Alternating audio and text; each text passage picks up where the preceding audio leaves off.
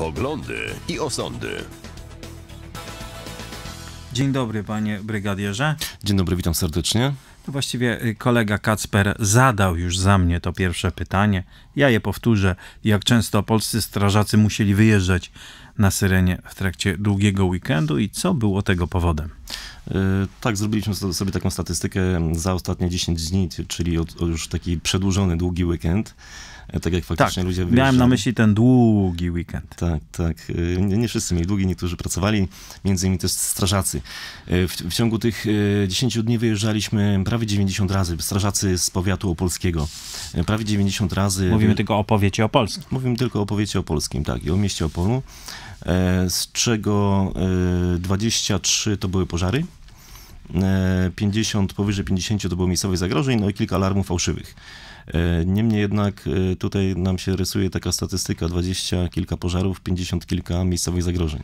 Czyli ponad y, dwie trzecie przypadków, y, do których wyjeżdża Straż Pożarna, Straż Ogniowa, nie wiąże się z ogniem, tak? Tak, no coraz częściej, coraz częściej. e, A co to są te miejscowe zagrożenia? To jest wszystko, to jest wszystko e, wszystkie zdarzenia, do których wyjeżdżamy, które nie są pożarem, czyli to będą wypadki, to będą e, uwięzione osoby w windzie, to będą otwarcia mieszkań z powodu, załóżmy, ktoś podejrzewa, że coś się mogło stać.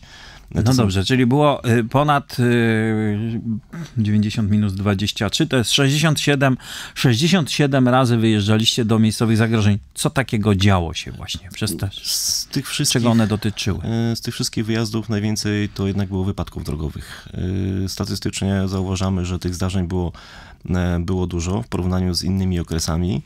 E, Co było przyczyną, trudno powiedzieć. No ładna pogoda, niemniej jednak zauważamy e, tak e, statystycznie, że gdy jest ładna pogoda, to dochodzi do takich poważniejszych wypadków. Jak No jest, właśnie, to jakiś paradoks. Dlaczego? To jest tak, jak jest ślisko, Lepsza widoczność, nie jest ślisko, pozwalamy sobie na większą prędkość. dlatego... Wtedy i wtedy, jeżeli cho- dochodzi do, e, do jakiejś kolizji, wypadku, wtedy te skutki są e, dużo gorsze niż w sytuacji, gdy jest ślisko, jest śnieg, jest I deszcz. jedziemy 40. Dokładnie tak. To samo mówił nam po- podinspektor Milewski z ruchu drogowego Komendy Wojewódzkiej. No dobrze, a jakieś te. Zostawmy wypadki, bo o nich dość dużo mówiliśmy już y, i tą nadmierną prędkość, natomiast te zagrożenia lokalne inne. Co, tam, co tam e, jeszcze było? Jeszcze mieliśmy, mieliśmy dosyć duży y, wysyp zdarzeń ze zwierzętami, można tak powiedzieć, e, dlatego że e, również ratujemy zwierzęta i mieliśmy trochę nietypowych zdarzeń, jak na przykład borsuk uwięziony w zbiorniku wodnym, niemniej jednak bez wody, był zbiornik akurat bez wody, suchy, borsuk nie mógł się wydostać, no i strażacy... A jak on tam wszedł? No, pewnie, pewnie próbując gdzieś się dostać, yy, wpadł do tego zbiornika. Borsuk. Kiedyś to było bardzo rzadkie zwierzę. No, no szczerze mówiąc, to nie mamy dużo zdarzeń z tego typu yy, Ale zwierzętami. Udało się uratować Tak, borsuka? oczy- oczywiście, oczywiście został złapany, wypuszczony w lesie i, i, i wypuszczony na wolność, bo w gruncie rzeczy Mhm. w tym zbiorniku suchym y, to był, y, no nie mógł sobie wejść, był więziony. Jakie jeszcze przypadki? E, mówimy często o, o kotach na drzewie. E, tak, no tu, tu mamy kolejny przypadek kota w studzience kanalizacyjnej. E, w jaki sposób ten e, kotek się dostał, e, próbując wyjść. Na szczęście ktoś zauważył, że, m, e, że takie zdarzenie miało miejsce. Mieliśmy w zimie takie, taką samą sytuację. Tam jeszcze był kot, który miał łapę przemarzniętą do studzienki kanalizacyjnej. E, Przechodzień zauważył i udało nam się tego kotka e, i w zimie, i teraz również wy- uratować. Mieliśmy lisy e, pod przepustem e, drogowym, które przez kilka godzin strażacy próbowali e, właśnie uwolnić, ewakuować. A co pod przepustem drogowym je tam uwięziło? E, Trudno jest mi powiedzieć, e, w jaki sposób te, te małe lisy... e, Aha, bo to były małe lisy, to, tak? były, to były małe lisy, tak.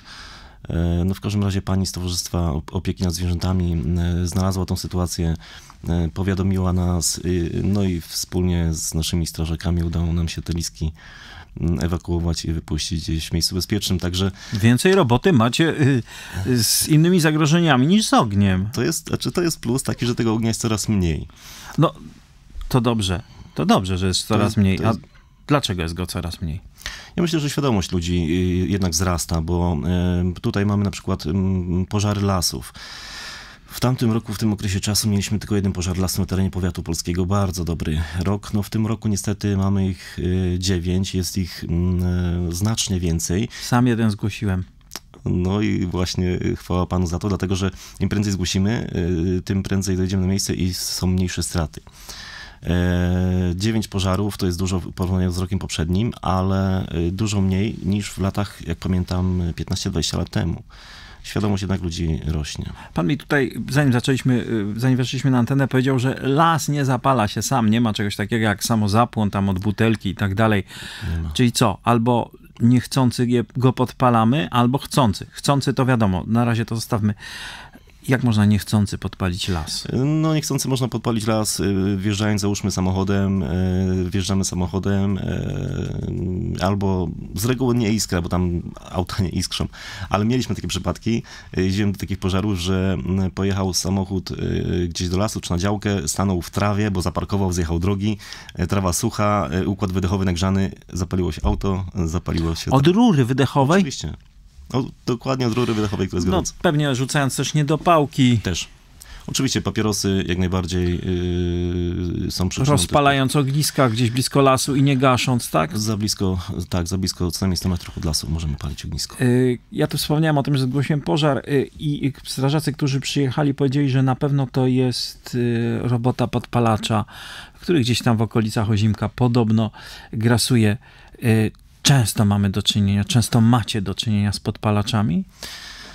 Czy tak podejrzewamy, bo y, przyczyny, my ustalamy wstępną przyczynę pożaru i załóżmy, gdy nie ma żadnej innej logicznej, jak tylko podpalenie, to wpisujemy podpalenie. Jednak tą y, przyczynę właściwą ustala policja, Y, ale z tych naszych wstępnych wynika, że często są podpalane przede wszystkim trawy. Na wiosnę Wypalane, tak? Tak, I z wypalane. tego się robią pożary. Z wypalanej trawy się robi pożar lasu, y, y, potrafi przejść na zabudowania. Ja byłem kiedyś przy zdarzeniu, że y, pan, który wypalał akurat słomę, nie trawę, próbował to później gasić. Starszy pan z- zasapał się, zadyszał, nałykał dymu i, i przewrócił mi się przyjemnie miejsce zdarzenia. Mieliśmy pożar słomy i z poszkodowanym jeszcze osobą. Na szczęście niewiele mu się stało. Ale te takie pozorne pożary traw pot- potrafią być groźne. Powiedział pan na początku, że część z tych 90 wyjazdów Straży Pożarnej w trakcie długiego weekendu była spowodowana fałszywymi alarmami. Tak, mamy też e, takie, takie wyjazdy jak alarmy fałszywe, ale z reguły są to wyjazdy do monitoringu, czyli mamy obiekty, które są e, na co dzień monitorowane. e, To są kina, teatry, galerie. Mm, Takich obiektów mamy około 80 na terenie e, Opola przede wszystkim. E, I czasem dochodzi do mm, wady tego systemu, przychodzi do nas informacja, że jest alarm pożarowy e, w jakimś obiekcie, jedziemy, sprawdzamy. Na No to jest szczęście- fałszywy alarm, natomiast... y, To jest fałszywy z instalacji wykrywania pożaru. Ale tak. czy są też tacy ludzie, którzy bawią się z wami w ciuciu babkę, mówiąc, że gdzieś się coś zapaliło, a po czym z ukrycia bawią się tym, że przyjeżdżacie i, i się krzątacie? Szczerze mówiąc, y, teraz y, takich zdarzeń prawie nie ma, y, lub też w ogóle nie ma, ale kilka lat temu, dobre kilka lat temu mieliśmy w Opolu taką osobę, która, która, pod, która podpalała zresztą. Podpalała i później patrzyła, obserwowała jak, jak, jak gasimy. Na szczęście policji udało się tą osobę ustalić i tej, tej osoby, ta osoba już nie, nie uprzykrza nam życia. Bardzo mało jest zdarzeń takich, gdzie gdzieś, gdzieś ktoś dzwoni i celowo nas wprowadza w błąd. Czasem się zdarza tak, że ktoś dzwoni. Y, Kiedyś pojechałem do takiego zdarzenia, że pożar mieszkania, ktoś zgłosił, w lecie zajeżdżamy na trzy samochody, bo to poważna sprawa. E, Patrzymy, no z okien e, leci coś białego, wchodzimy do mieszkania, a tam y, gładzie były robione na przykład, nie? No ale ktoś nie celowo, tylko w dobrej wierze nas poinformował. No ale to charakterystyczne, to dobrze, że jest coraz mniej ognia i coraz więcej dobrego serca strażaków, które przejawia się w tym, że ratujecie na przykład małe liski uwięzione, uwięzione y, pod przejazdem. Panie brygadierze, w drugiej części porozmawiamy o tak zwanym y, korytarzu życia oraz stanie technicznym waszego, mm, waszego taboru, waszego sprzętu. Zapraszam do Radio Opole 2 oraz radioopole.pl. Dziękuję serdecznie.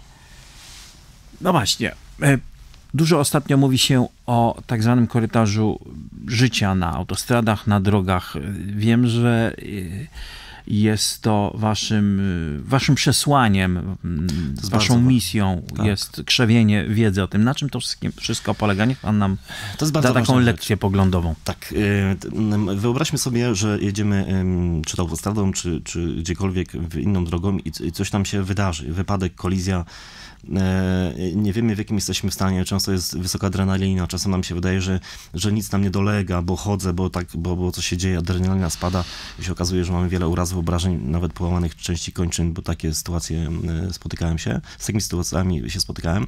W związku z tym tak bardzo ważne jest to, żeby do tej osoby, która e, ulegnie wypadkowi, dotarły służby ratownicze jak najprędzej. Czas jest e, decydujący. Jeżeli jeszcze mamy taką sytuację, że jest ym, sytuacja zagrażająca życiu, jest krwotok jakiś masywny, czy jest też y, zatrzymanie y, krążenia. Tutaj minuty są bardzo ważne, żeby tę osobę uratować.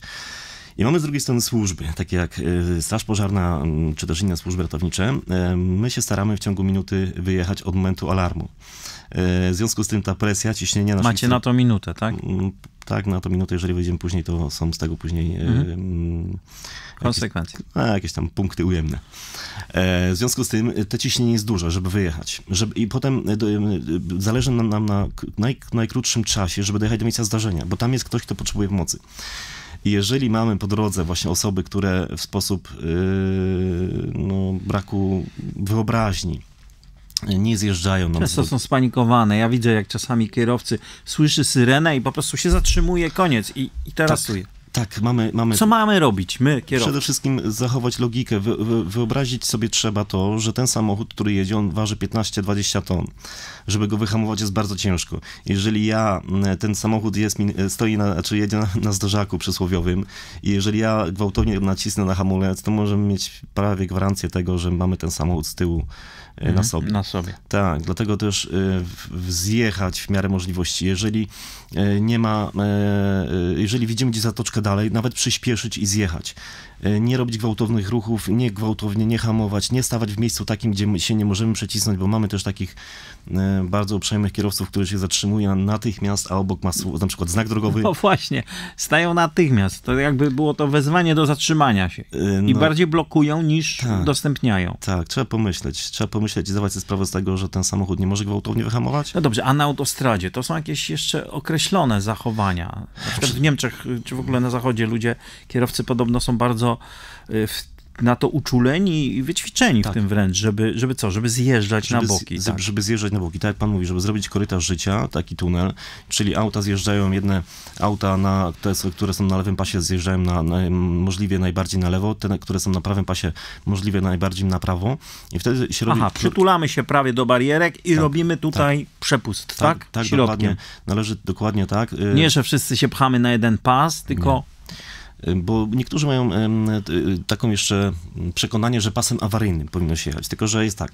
Pas awaryjny, jak sam, e, sama nazwa wskazuje, jest do tego, że jak auto się zepsuje, żeby tam stało. To mieliśmy takie sytuacje, że jadąc do zdarzenia, mamy auto, które stoi na pasie awaryjnym, bo tam ma takie prawo.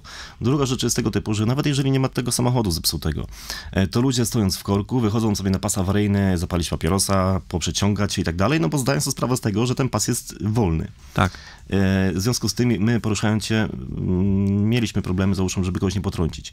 Znów, jeżeli ludzie zrobią korytarz życia, to wiedzą, zdają sobie sprawę z tego, że tym miejscem pojadą e, auta ratownicze. E, Pojadą szybko, w związku z tym... e, e, Nie wysiadamy. Nie wysiadamy. Czyli tak, zjeżdżamy na lewo, jeżeli jesteśmy na lewym pasie, na prawo, jeżeli jesteśmy na prawym pasie i nie wysiadamy z auta, dopóki nie przejedzie cała kolumna ratownicza, tak? Najlepiej byłoby nie wysiadać z auta. Jeżeli wysiadamy z auta, to nie wchodzimy na ten pas, który zrobiliśmy dla przejazdu e, służbom ratowniczym. Należy mieć na uwadze tam, że tam będą jechały samochody i będą jechały szybko. I tego się trzymajmy. Y, Nie zdążymy już porozmawiać o y, stanie taboru, helikopterów, samolotów ratowniczych i tak dalej, i tak dalej, ale będzie zapewne jeszcze ku temu niejedna okazja. Dziękuję panu za rozmowę. Naszym gościem był pan Leszek Koksanowicz, brygadier Leszek Koksanowicz, zastępca komendanta miejskiego Państwowej Straży Pożarnej w Opolu. Dziękuję. Dziękuję bardzo. Poglądy i osądy.